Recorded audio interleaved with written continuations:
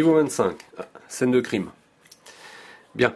Alors, euh, apparemment il y a eu un mort ici. On a toujours un code à trouver là, donc habituellement c'est du 4 chiffres, hein, donc ce sera la même chose.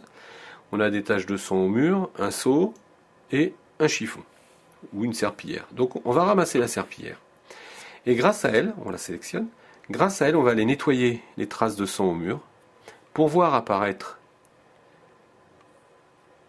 deux nombres qui composent les quatre chiffres de notre, de notre code qui sera 4164. Et eh bien c'est ce que nous allons taper ici.